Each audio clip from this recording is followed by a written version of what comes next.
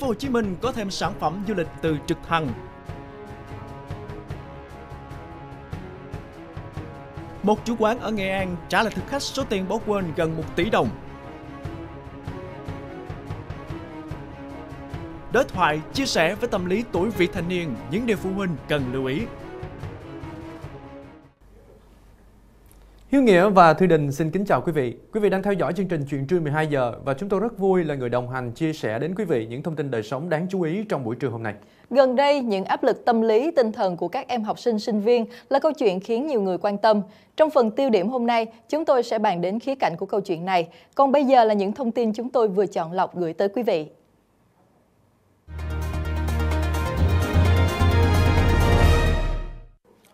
Thưa quý vị, dịp lễ 30 tháng 4, 1 tháng 5 tới đây, người dân và du khách khi đến với thành phố Hồ Chí Minh sẽ có thêm một sản phẩm du lịch đó là tour ngắm thành phố từ trên cao bằng trực thăng. Sản phẩm do Sở Du lịch Thành phố Hồ Chí Minh phối hợp cùng Bệnh viện Quân y 175, công ty trực thăng miền Nam và các doanh nghiệp du lịch trên địa bàn Thành phố Hồ Chí Minh xây dựng. Điểm nhấn của tour này là du khách có thể ngắm thành phố Hồ Chí Minh từ trên cao bằng trực thăng với các lộ trình bay như ngắm trung tâm thành phố Hồ Chí Minh, trung tâm thành phố Hồ Chí Minh Cần Giờ hoặc giữa thành phố Hồ Chí Minh với khu du lịch cánh đồng bất tận ở tỉnh Long An. Đại diện ngành du lịch thành phố đánh giá đây là sản phẩm rất được kỳ vọng không chỉ ở thành phố Hồ Chí Minh, Long An mà còn liên kết với Bà Rịa Vũng Tàu, Lâm Đồng, Cần Thơ. Được biết, trước đó bệnh viện Quân y 175 đã đưa vào sử dụng tòa nhà diện chấn thương chỉnh hình với định hướng trở thành trung tâm cấp cứu đa năng đường bộ, đường không, đường thủy. Sau khi hoàn thành tốt việc cấp cứu đối với Trường Sa, hệ thống y tế biển đảo, Tây Nguyên, bệnh viện tiếp tục triển khai đường bay phục vụ dân sinh với nhiệm vụ phải đảm bảo công tác cấp cứu điều trị kết hợp du lịch và y tế đáp ứng nhu cầu về du lịch trong việc phát triển kinh tế và đặc biệt là phục hồi kinh tế du lịch. Những ngày biển động vừa qua, người dân tại xã Vĩnh Lương, thành phố Nha Trang đều choáng ngợp trước lượng rác thải khổng lồ và bốc mùi hôi nồng nặc ở khu vực ven biển. Rác biển theo sóng trôi tấp vào với đủ mọi loại rác, từ rác thải sinh hoạt đến rác thải của các ngư lưới cụ dạt vào, tràn ngập các khu dân cư ven biển giang Đăng và Lương Sơn của xã Vĩnh Lương, Nha Trang. Đây được coi là rác từ các tàu đánh bắt của ngư dân xả thẳng xuống biển trong những ngày đi đánh bắt. Và những ngày biển động vừa qua, lượng rác biển khổng lồ này liên tục theo các con sóng đánh tấp thẳng vào bờ, biến các khu dân cư ven biển trở thành những bãi rác lộ thiên, gây choáng ngợp người dân nơi đây. Riêng tại khu dân cư giang Đăng, rác biển trôi theo dòng chảy của biển, vượt qua cầu Văn Đăng, tấp vào khu dân cư này. Khi thủy triều rút đi để để lại lượng rác kinh hoàng, gây mất vệ sinh môi trường nghiêm trọng cho khu dân cư này. Sắp tới đây, tỉnh Bà Rịa Vũng Tàu sẽ chi 670 tỷ đồng để giải phóng mặt bằng đoạn 19,5 km cao tốc Biên Hòa Vũng Tàu qua địa phận tỉnh này. Quyết định được đưa ra sau khi dự án cao tốc được Thủ tướng chấp thuận đầu tư bằng ngân sách nhà nước. Hiện nay, tình hình ngân sách Bà Rịa Vũng Tàu trong giai đoạn 2021-2025 đang gặp rất nhiều khó khăn. Trung ương cắt giảm tỷ lệ điều tiết ngân sách năm 2022 từ 64% xuống 56%, đồng thời tỉnh đang tập trung đầu tư các tuyến đường giao thông kết nối vùng. Tuy nhiên, quỹ ban dân tỉnh Bà Rịa Vũng Tàu cam kết cân đối, bố trí 670 tỷ đồng để tham gia cùng ngân sách trung ương thực hiện dự án. Ngoài đoạn từ biên hòa Đồng Nai về đến quốc lộ 56 Bà Rịa Vũng Tàu, trung ương đầu tư thì còn khoảng 16 km từ quốc lộ 56 về đến dòng xoay quốc lộ 51, tỉnh sẽ đầu tư. Nếu đầu tư xong đoạn này nữa thì có thể nói cao tốc biên hòa Vũng Tàu phát huy hết tác dụng, mở ra cơ hội phát triển cho tỉnh đúng như chủ trương ban đầu khi đầu tư. Hơn nửa tháng qua, trên địa bàn tỉnh Đắk Lắk đã xảy ra ít nhất 4 vụ đuối nước khiến cho 10 em học sinh tử vong. Sự việc thương tâm gần đây nhất xảy ra hôm qua ở xã Ea Tân, huyện Krông Năng. Hai em gái trong cùng một gia đình trượt chân ngã xuống ao nước gần nhà và đã tử vong. Nạn nhân là học sinh lớp 10 trường trung học phổ thông Nguyễn Huệ và học sinh lớp 3B trường tiểu học Bế Văn Đàn. Hai em là chị em cùng mẹ khác cha. Theo đó, chiều ngày 11 tháng 4, hai chị em đi cắt cỏ tại khu vực ao nước của gia đình. Tại đây, không may người em trượt chân rơi xuống ao. Thế vậy người chị lao xuống cứu nhưng không may cả hai chị em đều đuối nước thương tâm. Sau khi xảy ra sự việc, lãnh đạo Ủy ban Nhân dân xã Ea Tân đã cử lực lượng đến thăm hỏi hỗ trợ gia đình tổ chức mai táng cho hai cháu. Bên cạnh đó, Phòng Giáo dục và Đào tạo huyện Rồng Năng cũng đã chỉ đạo ban giám hiệu của hai trường nơi hai cháu theo học đến thăm hỏi động viên hỗ trợ gia đình nạn nhân. Được biết đây là vụ việc đuối nước thương tâm thứ tư trong vòng 20 ngày qua tại tỉnh Đắk Lắk khiến 10 em học sinh tử vong. Phát hiện khách đến ăn và bỏ quên chiếc túi bên trong có gần 1 tỷ đồng, chủ quán ăn ở thành phố Vinh, tỉnh Nghệ An đã đăng lên mạng xã hội tìm người bỏ quên.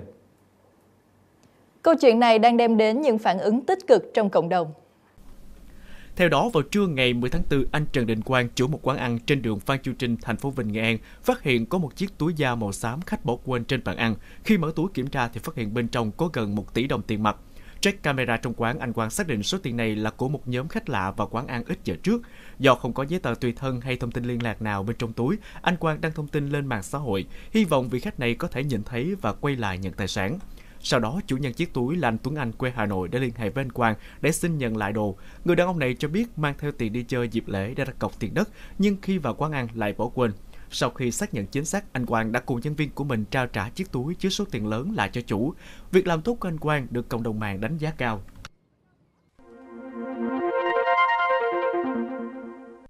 ưu tiếp chứa các dưỡng chất sinh học quý từ thiên nhiên, chống gốc tự do, bảo vệ tế bào thần kinh và mạch máu não. Ưu tiếp cải thiện chóng mặt, đau đầu, mất ngủ. Theo thời gian, phụ nữ mất dần tự tin do suy giảm sức khỏe, sắc đẹp, đặc biệt là da khô sạm, xuất hiện nếp nhăn vì hư tổn cấu trúc nền của da. Sâm Acelacol tăng cường hoạt động hệ trục não bộ tuyến yên buồng trứng, bổ sung tinh chất leucotomos thiên nhiên, bảo vệ tái tạo cấu trúc nền của da, giúp da mềm mịn, căng sáng từ bên trong.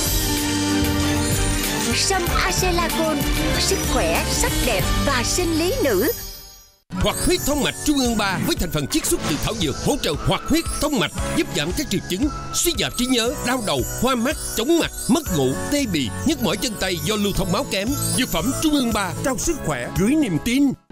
Năm tháng trôi qua, chức năng của thận dần suy giảm, gây ra các chứng như đau lưng, mỏi gối, tiểu tiện nhiều lần, sinh lý yếu. Với chiết xuất từ các thảo dược, Sâm nhung bổ thận trung ương 3 trị chứng thận hư, thận yếu. Đọc kỹ hướng dẫn sử dụng trước khi dùng. Dầu gội thơm thật tuyệt. Cho đến khi gió thổi Làm tóc xơ rối. Đừng lo Đã có Rejoice 3 trong một. Tóc lưu hương Được nuôi dưỡng Suôn mượt Rejoice 3 trong một Vion Siêu ứng dụng giải trí. Xem phim. Xem show. Xem truyền hình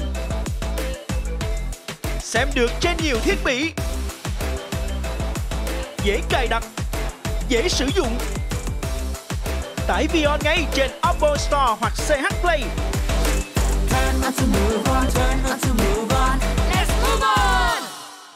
Bình vị Thái Minh đã được nghiên cứu hiệu quả cho người bị trào ngược dạ dày, viêm loét và đau bao tử với các biểu hiện ở hơi, ở chua, nóng rát ở vùng ngực, đau dạ dày. Bình vị Thái Minh nay đã có dạng lọ 80 viên, tiết kiệm lên đến 85.000 đồng so với hộp 20 viên. Thời gian gần đây, bạch hải đường bỗng nổi lên như một ngôi sao trong làng cây cảnh. Giá của loài cây này được thổi lên chóng mặt và có cây thậm chí còn được định giá lên tới hàng trăm triệu đồng. Giới chuyên gia cảnh báo rằng đây là một cơn ảo giá, kịch bản tương tự như ảo giá lan đột biến hay trầu bà đột biến. Cơn sốt bạch hải đường hiện lan khắp các tỉnh phía Bắc và bao trùm các hội nhóm cây cảnh trên mạng xã hội. Trong một hội nhóm gần 130.000 thành viên trên Facebook, những bài đăng về bạch hải đường, bài nào bài đấy nhận về hàng trăm, hàng ngàn lượt tương tác. Hầu hết là những bài đăng tìm mua, còn những bài đăng của người bán thì rất ít và giá bán của ở mức cao ngất ngưỡng.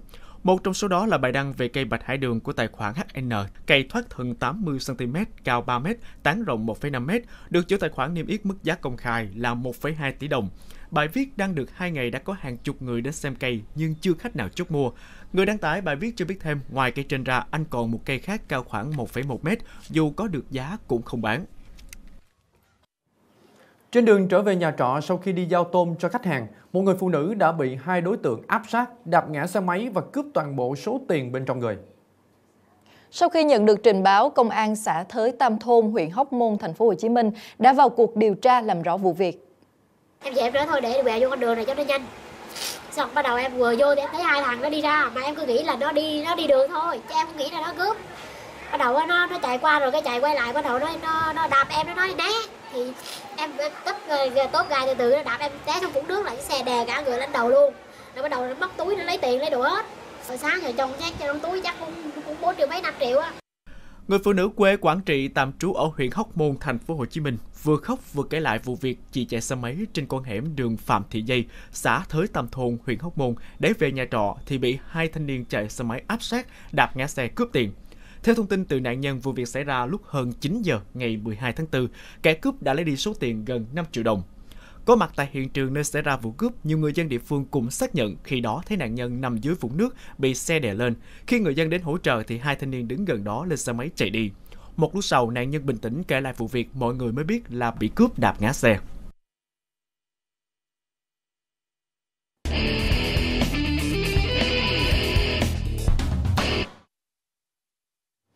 Thưa quý vị, vào độ tuổi vị thành niên thì các em có nhiều sự thay đổi về mặt tâm lý. Vì thế luôn cần một người bạn lớn đủ tin tưởng để chia sẻ tâm sự. Tuy vậy, nhiều em lại không đủ tự tin để trò chuyện với chính bố mẹ của mình. Thiếu sự đồng cảm, rào cản thế hệ đã làm cho các em dù muốn cũng không thể chia sẻ tâm sự với những người thân yêu nhất. Đối thoại và chia sẻ với tâm lý lứa tuổi vị thành niên như thế nào là câu chuyện mà nhiều bậc phụ huynh đang quan tâm. Em thì mẹ em cũng không có lớn tuổi lắm, mẹ cũng uh, tâm sự được với em nhiều điều nhưng mà cũng có nhiều điều không thể nói được với mẹ. Em sợ mẹ la với lại kiểu như là có nhiều thứ kiểu như là mẹ không có hiểu được cho em. Có nhiều bạn rất là khó chia sẻ không có mạnh dạn không có dám nói với lại phụ huynh của mình về những vấn đề mình đang gặp phải. Có thể mình sẽ chia sẻ với bạn bè những người thân thiết người có nhiều người có sự tin cậy của mình hoặc là nói với thầy cô chị chỉ có hiểu cảm giác là mình muốn nói cái gì đó mà, kiểu, mình rất là thích luôn á. Mà, kiểu, bị ba mẹ kêu là, thôi, rồi cũng bỏ thôi. Thì em nghĩ chắc chị cũng sẽ cảm thấy rất là bực. Tại vì, kiểu, là hồi trước em có muốn là tập một cái môn gì đó chị, mà, kiểu, ba mẹ em kêu là, thôi, phí tiền, tập rồi cũng bỏ rồi. Mặc dù em em xin rất là nhiều luôn, mà ba mẹ em cứ lơ qua vậy á. Thì nghĩ là nếu như ai rồi sẽ cũng có chịu, nhưng mà nếu mà nghĩ cho ba mẹ mình á thì đúng là mình sẽ sợ mình không có cố gắng được đó chị ở lứa tuổi như trung học cơ sở, trung học phổ thông, các em đã bắt đầu có những trải nghiệm cuộc sống của một người lớn. Không phải lo cơm áo gạo tiền, nhưng các em mỗi ngày đều có những áp lực về mặt học hành, những cảm xúc yêu thương đầu đời hay những tranh cãi, những mâu thuẫn tuổi học trò cũng khiến các em đủ căng thẳng và những lúc này các em cần những bờ vai để nương tựa để cho các em biết cách vượt qua, đối mặt và xử lý những vấn đề theo một cách tốt đẹp nhất. Lúc này, những bậc phụ huynh, người thân trong gia đình như anh chị em sẽ là nơi mà các bạn thiếu niên có thể tin tưởng để bày tỏ nỗi niềm của mình. Với nhiều em, việc tâm sự với bố mẹ quá khó khăn. Các em sẽ tìm đến những người bạn của mình để bày tỏ nỗi lòng, thậm chí là những người lạ mặt, miễn sao có thể lắng nghe và thấu hiểu cho những tâm tư tình cảm của bản thân. Điều này rất nguy hiểm vì chính từ đây những thành phần xấu có thể len lỏi, kết bạn và âm thầm gieo cho các em những hành động thiếu kiềm chế, gây nguy hại đến tính mạng của các em. Được cái bài học là mình không nên ép buộc con. Con cái mình thì ở cái mức ờ, mức độ nào thì là tùy con thôi chứ không phải là thực ra thì không phải là để cho con thoải mái nhưng mà mình thấy con mình được chừng nào thì thì thì mình cũng tạo điều kiện cho con chừng đó chứ không được ép buộc ừ, phải con phải hôm nay con phải làm được cái này con phải học được cái này không không ép buộc không nên ép buộc con yeah. Bản thân của mỗi phụ huynh chúng ta cần phải có một cái sự điều chỉnh à, cho nó phù hợp với con. À, phụ huynh chúng ta thì cần phải à, đóng vai là một người bạn của con à, để con có thể à, chia sẻ với à, phụ huynh của mình. À, niềm vui có sự hạnh phúc có nhưng đôi khi con cũng có thể mạnh dạn tự tin chia sẻ với phụ huynh ở những vấn đề mà con gặp khó khăn. À, đặc biệt là những cái sức ép về tâm lý hiện nay của các em à, mình phải cởi mở với các em học sinh với con của mình thì tôi nghĩ thì từ đó thì con sẽ mạnh dạn tự tin để nói với uh, phụ huynh Cha mẹ là đối tượng đáng tin cậy nhất của con cái. Dù nhiều bậc cha mẹ luôn âm thầm bảo vệ con cái, nhưng điều này vẫn chưa đủ. Cha mẹ phải bày tỏ tình yêu thương của mình và để các em biết. Vì vậy, các bậc phụ huynh chú trọng thường xuyên giao tiếp với con cái, tạo bầu không khí đối thoại tự do, bình đẳng, không để các em cảm thấy quá áp lực, khó chia sẻ. Hãy khuyến khích các em yêu cầu sự giúp đỡ và trò chuyện với chính mình khi các em gặp những vấn đề trong cuộc sống. Đây chính là cách vừa giúp các bậc cha mẹ hiểu con, vừa khiến cho các em phá bỏ những rào cản khi tìm đến chia sẻ, tâm sự với bố mẹ mỗi khi cần thiết. Trong phần tiếp theo của chương trình, tai nạn do mặc váy chống nắng. Độc đáo tác phẩm hội họa có thể ngửi được. Sa vũ của Lê Thanh Hòa mãn nhãn với những thiết kế thủ công.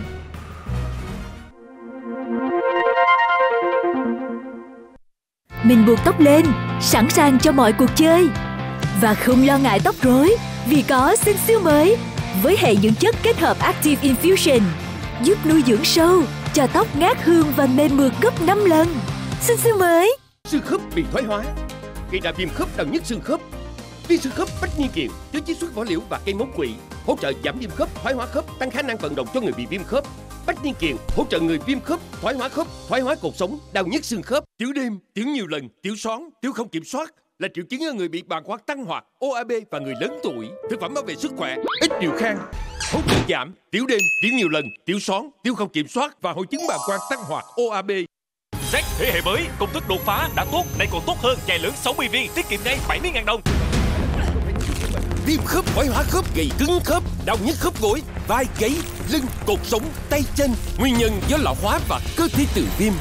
Z mới từ Mỹ giúp giảm đau, tái tạo sườn khớp nhờ bảo vệ màng hoạt dịch, tăng độ bền và dẻo dai cho khớp, làm chậm thoái hóa và bảo vệ xương khớp chắc khỏe, giúp bạn vận động linh hoạt, tự chủ cuộc sống. Zex thế hệ mới giúp giảm đau, tái tạo sườn khớp, bảo vệ xương khớp chắc khỏe. Thay đổi thời tiết hay năm điều hòa lạnh đều khiến trẻ dễ bị ho cảm. Mẹ luôn có sẵn siro ho cảm ít nhi, hiệu quả lại thơm ngon từ dược liệu sạch, dùng khi trẻ chớm ho, hắt hơi, sổ mũi. Trẻ chớm ho cảm dùng ngay ít nhi. Tuổi tác môi trường, ánh sáng nguy hiểm từ các màn hình khiến mắt mờ, mỏi, khô, nhất thậm chí mù lòa. Quyết với tinh chất quý Propofan thiên nhiên, bảo vệ võng mạc và thủy tinh thể cho mắt sáng khỏe. Quyết tăng cường thị lực, giảm mờ, mỏi mắt.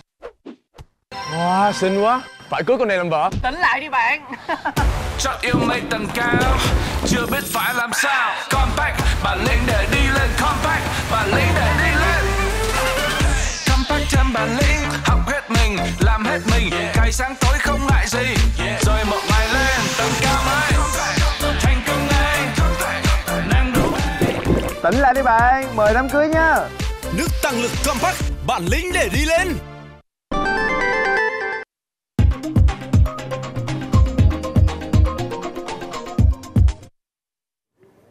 Mở đầu camera cà phê hôm nay là một tình huống khá nguy hiểm xảy ra trong khu nhà bếp của một gia đình và nhanh chóng nhận được sự quan tâm của cộng đồng mạng.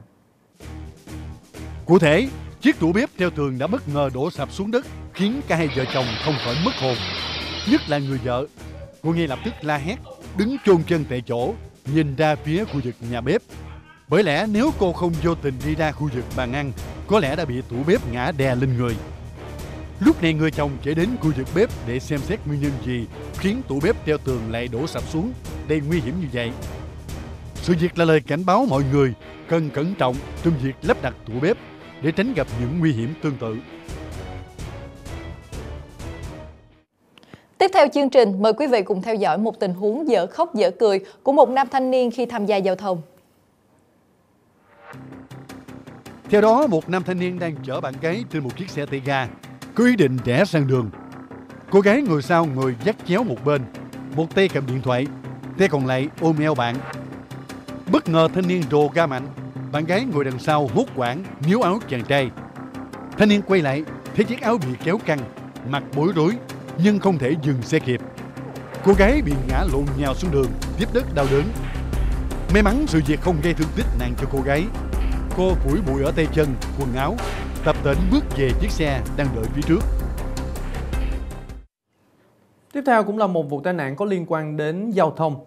Mang váy chống nắng không gọn gàng khi đi xe, một cô gái đã bị cuốn vào bánh xe máy và ngã lộn nhào xuống đường. Đoạn clip dưới đây là một tình huống cảnh giác cho các chị em phụ nữ cần cẩn thận hơn trong việc sử dụng váy chống nắng.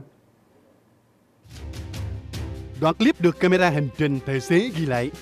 Lúc này ngồi sau xe máy, một cô gái trẻ bị cuốn áo chống nắng vào bánh xe rồi ngã lăn ra đường ngay trước mũi xe ô tô, khiến nhiều người không khỏi giật mình. Không ít người khi chứng kiến tình huống cho rằng cô gái ngồi sau xe máy đã bất cẩn khi khoác áo chống nắng quá rộng. Giặt áo loa xoa nên bị cuốn vào bánh xe. Đây cũng là bài học kinh nghiệm cho nhiều chị em phụ nữ lái xe máy với thói quen mặc đồ chống nắng kín mít, rộng thùng thình ra đường trong thời điểm nắng nóng như hiện nay. Một vụ cướp vàng táo tợn xảy ra ở tỉnh Bình Dương đã được camera an ninh ghi lại. Cướp vàng rồi cố gắng hết sức bỏ chạy, nhưng người phụ nữ đã bị bảo vệ truy đuổi và tóm gọn. Theo đoạn clip tại tiệm vàng ghi lại, thời điểm ban ngày, thế những người phụ nữ mặc áo khoác đỏ vào mua vàng. Trong lúc đang đứng xem, lợi dụng sơ hở, cô ta đã ôm vàng bỏ chạy. Nhưng không ngờ bảo vệ ngồi bấm điện thoại phía trước, phát hiện, truy đuổi và bắt được. Diễn biến vụ việc xảy ra tại chợ bún, phường Lấy Thiêu, thành phố Thuận An, tỉnh Bình Dương.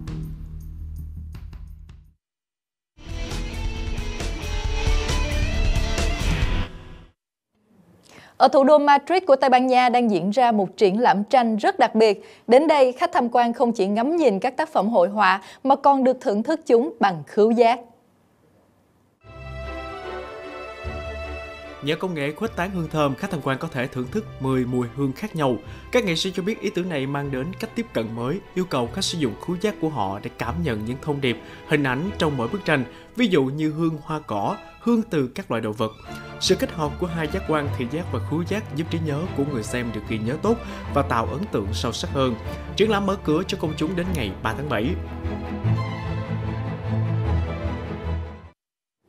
Và đặc biệt không kém là tại Thụy Điển, một bảo tàng mới ra mắt đã thu hút sự chú ý bởi quan điểm đi ngược lại hoàn toàn với truyền thống. Đó là họ biến những vị khách tham quan trở thành những tác phẩm nghệ thuật có trong bảo tàng đó. Ngay từ cái tên của bảo tàng Museum đã là cách chơi chữ mang ý nghĩa bảo tàng của bạn.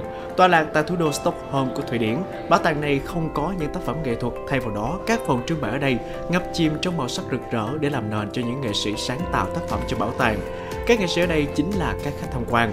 Theo giám đốc bảo tàng, du khách có thể chụp những bức ảnh hay ho tạo ra những nội dung thú vị cho tài khoản Instagram, Facebook hay TikTok. Mô hình bảo tàng Museum khởi phát ở Hà Lan vào năm 2019. Hiện ở nước này đã có hai bảo tàng. Ý tưởng này sau đó lan ra nhiều nơi tới Thụy Điển và Đức, Trung Đông.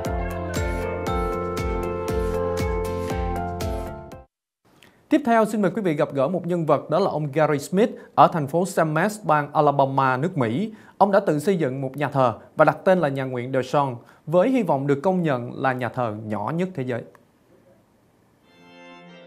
Nhà thờ của Gary Smith có kích thước 1,2 x 1,5 x 5,8 m, nhỏ hơn đến 0,6 m vuông so với nhà thờ đang giữ kỷ lục nhỏ nhất thế giới là nhà thờ Santa Isabel de Hungría ở thành phố Benalmádena, Tây Ban Nha.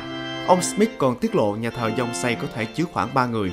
Hiện ông Smith đang chờ phản hồi từ tổ chức kỷ lục Guinness Thế giới với hy vọng nhà nguyện Detroit được công nhận là nhà thờ nhỏ nhất thế giới. Các cặp đôi tại địa phương đã ngỏ lời được chụp ảnh và làm lễ cưới tại nhà thờ De Trump. Chủ nhân của nhà thờ luôn sẵn lòng giới thiệu nó đến với nhiều người.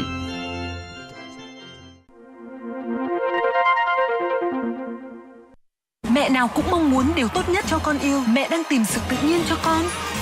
Mẹ đang tìm tã thấm hút hiệu quả. Còn mẹ đang tìm tã an toàn cho da nhạy cảm của bé sơ sinh. Mofix thiên nhiên nay đã có tại Việt Nam. 50% hệ miễn dịch nằm ở đường ruột. Sữa chua Vinamilk lên men từ 12 triệu men Bulgari châu Âu. Tốt cho tiêu hóa. Sữa chua, sữa chua Vinamilk. Quà tiêu hóa, quá vui mỗi ngày sấy khô hay nhuộm màu. Tôi thích thể hiện mình qua nhiều kiểu tóc, nhưng tạo kiểu làm tóc khô sơ, đồ phục hồi hư tổn mới với công nghệ độc quyền định vị hư tổn chính xác, giúp người dưỡng chính xác từng sợi tóc hư tổn để tái tạo tóc hiệu quả, cho bạn mái tóc suôn mượt khỏe đẹp. đồ mới Tôi yêu mỗi khoảnh khắc năng động không ngừng nhờ Diana siêu thấm. Thêm cải tiến với màn dẫn thấm Loctec, khóa ẩm 3 lần cho bề mặt khô thoáng ngay lập tức và chống tràn tối ưu. Yêu, tin, hành động, Diana siêu thấm mới. Tôi bị tiểu đêm nhiều, tiểu lại khó nữa. Đi siêu âm thì bị phì đại tiền liệt tuyến không ạ? Thế thì ông phải dùng Vương Bảo ngay. Vương Bảo có tác dụng hỗ trợ giảm phì đại tiền liệt tuyến, từ đó hỗ trợ giảm tiểu đêm, tiểu rác tiểu nhiều lần. Vương Bảo chuẩn đấy. Tiểu đêm và phì đại tiền liệt tuyến của tôi ngon lành rồi. Ô long T Plus thôi. Thanh thơm, ngọt dịu, thuần túy vị ô long. Trà ô long T Plus, ô ô long T Plus, cùng uống cho ngày thêm nhẹ.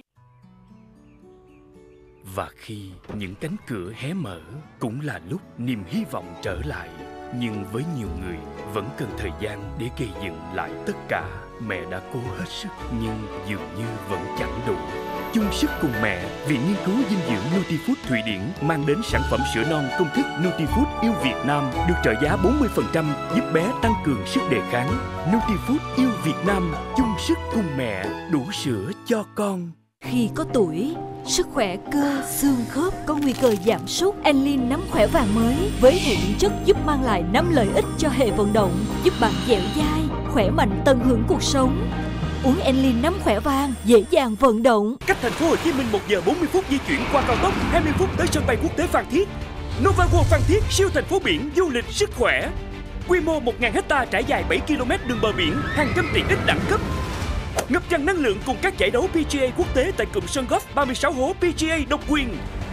Tâm điểm đầu tư với dòng Golf Village khan hiếm, dòng shop house biển sôi động, dòng second home biển độc đáo chỉ có tại Nova World Phan Thiết. Novaland cho cuộc sống bừng sáng.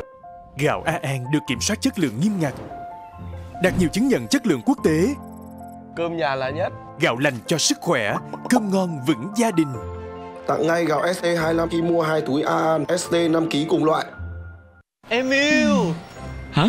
Bánh gì á? Bánh vị biết điều. Ừ. Cozy Wonderful mới muối vị điều đậm vị bơ cho từng khoảnh khắc thêm trọn vị. Biết điều. Ồ.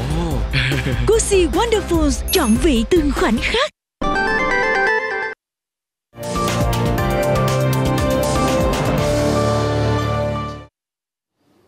Mới đây, Thiều Bảo Trâm vừa chính thức phát hành sản phẩm âm nhạc có tên là Sau lưng anh có ai kìa. Các khúc là một bản pop ballad do nhạc sĩ Nguyễn Phúc Thiện sáng tác, dành riêng cho giọng hát nhẹ nhàng và sâu lắng. Sau nhiều hé lộ khiến giới mộ điệu mong chờ, show diễn Sa Vũ của nhà thiết kế Lê Thanh Hòa vừa diễn ra tại thành phố Hồ Chí Minh, mang đến bữa tiệc thời trang đậm sắc màu. Ở phần đầu Sa Vũ là sân chơi của những tông màu trung tính và ngay sau đó khán giả được thăng hoa với bữa tiệc sắc màu của mùa hè bao gồm cam, hồng, vàng, lam.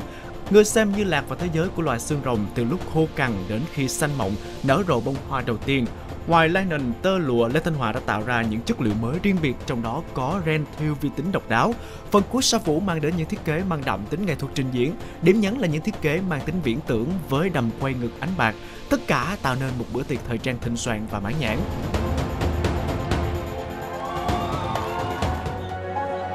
Mới đây trên trang cá nhân Jack đăng tải hình ảnh ngồi trong căn phòng chứa quà lưu niệm cũng như các giải thưởng âm nhạc.